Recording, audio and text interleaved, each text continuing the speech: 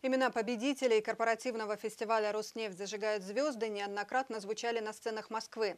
Трамплин для высоких достижений – городской конкурс, организаторами которого являются нефтяники-нягани. Свои таланты в вокальном исполнении, танцах, игре на музыкальных инструментах, в живописи и фотографии демонстрируют сотрудники предприятия, их дети. Как прошел шестой творческий конкурс, расскажет наш корреспондент.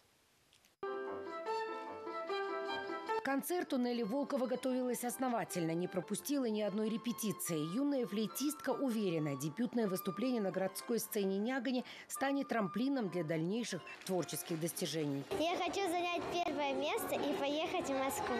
Слесарь-ремонтник цеха восстановления экологии Ильдус Саитов – бессменный участник городского фестиваля. Самодеятельному артисту 56 из года в год он радует зрителя танцевальными номерами. Татарский, калмыцкий, Теперь цыганочка. Даст Бог, значит, следующий год башкирский, потом марийский. Сольные, коллективные и семейные номера в пяти номинациях стали настоящим украшением конкурса. Нефтяники Нягани доказывают.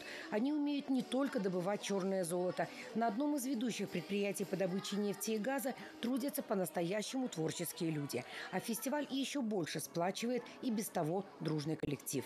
Где, как не на нашем фестивале, показать именно на что мы способны.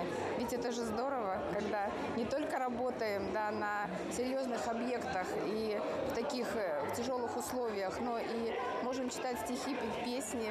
Выявляют таланты в РН-Нефтегазе уже шестой раз. Фестиваль творчества стал традиционным и популярным.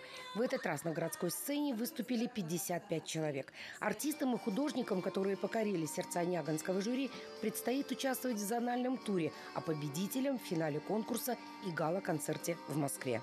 Татьяна Герт, Максим Куксаус, Вести, Югория, Нягань.